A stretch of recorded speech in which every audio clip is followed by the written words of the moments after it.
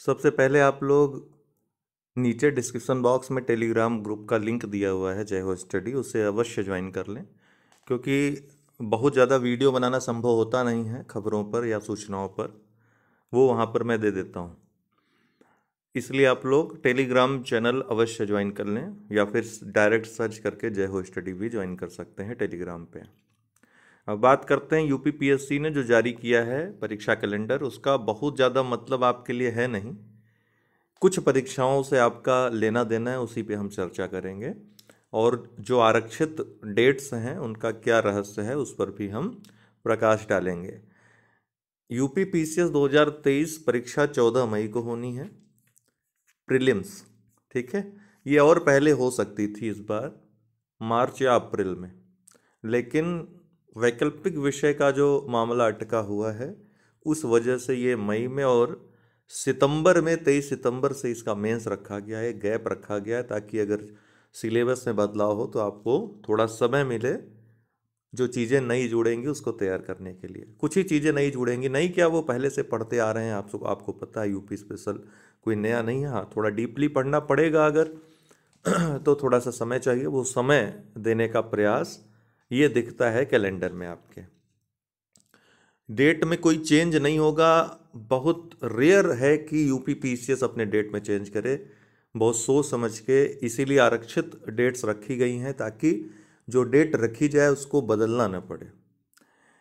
तो आयोग इस मामले में बहुत ही ज़्यादा रिजिड है। बहुत रेयर चांस होता है कि वो अपनी डेट परिवर्तन करे और परिवर्तन करता भी है तो पंद्रह बीस दिन के लिए इससे ज़्यादा नहीं। दूसरी एक अच्छी बात है कि इस बार जो वन संरक्षक वाला है आरएफओ की भी भर्ती साथ साथ आएगी। पिछली बार पद नहीं थे, इस बार पद रहेंगे। ठीक ठाक पद रहेंगे इस बार। तो जो लोग उस सेवा में, वन सेवा में जाना चाहते हैं, उनके लिए भी एक अच्छी खबर है। ये वैकेंसी पीसीएस के साथ ही आती पीसीएस के साथ ही इसका प्रीलिम्स होता है। मेंस इसका अलग होता है, उसकी भी डेट दी गई है। सितंबर के बाद ही उसकी डेट है। मतलब पीसीएस का एग्ज़ाम होगा, उसके बाद आरएफओ का मेंस का एग्ज़ाम होगा। जुडिशरी की मेंस की डेट मई में आ गई है। फरवरी में आपका प्रीलिम्स है, मई में मेंस है तो इस बार पिछली बार की तरह नहीं है। डेट अच्छी दी है मतलब आपको समय दे दिया है। लॉ वालों का लॉ तैयार हो जाएगा। जो लॉ बैकग्राउंड से नहीं है, पहली बार है, उनके लिए दिक्कत होगी केवल। अब एक प्रश्न उठता है कि आर ओ बी ओ और एल टी जिनकी वैकेंसीज के बारे में कैलेंडर में कुछ है नहीं तो मैं आपको बताना चाहता हूँ, जो लोग पहले से शुरुआत से इस मामले में हमारी वीडियो देखते आ रहे हैं। हमने आपको पिछले वर्ष बताया था, जब लोग कह रहे थे कि अगस्त में परीक्षा होगी, दिसंबर में परीक्षा होगी, इस तरह की चीज़ें चल रही थी तो मैंने खंडन किया था। मैंने कहा था कि इस वर्ष आरओ की वैकेंसी मुश्किल है आना बीओ की वैकेंसी मुश्किल है आना एलटी ग्रेड की वैकेंसी मुश्किल है आना। नवंबर में मैंने आपको कहा था कि अब ये वैकेंसीज आ सकती हैं, इनके आने की प्रबल संभावना है, लेकिन मामला अटक गया रिजर्वेशन पे। रिजर्वेशन के अलावा कुछ समकक्षता का मामला था। तो ये मामले अटक गए, इस वजह से नोटिफिकेशन नहीं आ पाया। और इनका जैसे ही अभी तक निस्तारण नहीं हो पाया है, निस्तारण जैसे ही होता है नोटिफिकेशन आ जाएगा। सिर्फ़ इसलिए डेट नहीं दी गई है, लेकिन डेट आयोग में अनऑफिशियली डिसाइडेड है। जैसे ही नोटिफिकेशन आएगा, ये डेट्स बहुत ज़्यादा नोटिफिकेशन में देर नहीं हुई। मतलब इस मामले में कार्मिक या सचिवालय से जितनी जल्दी प्रक्रिया आगे बढ़ेगी, उतनी जल्दी नोटिफिकेशन आएगा। उसी हिसाब से डेट इनकी पड़ेगी।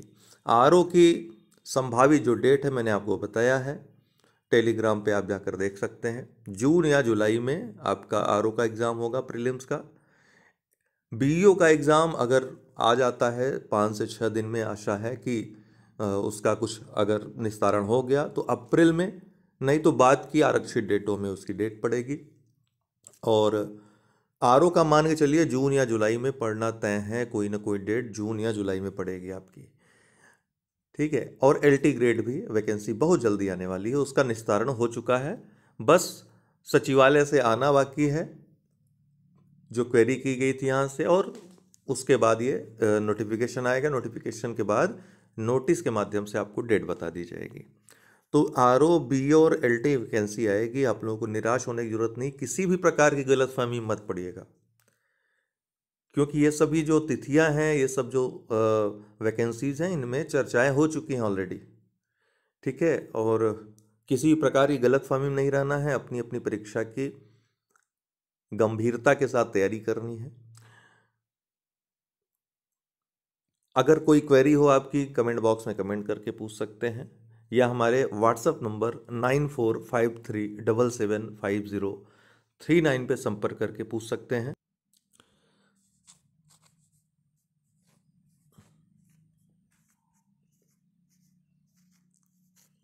इस नंबर पे व्हाट्सअप करके आप संपर्क करके पूछ सकते हैं, या टेलीग्राम भी कर सकते हैं, जो लोग टेली टेलीग्राम यूज़ करते हैं व्हाट्सअप नहीं यूज़ करते हैं।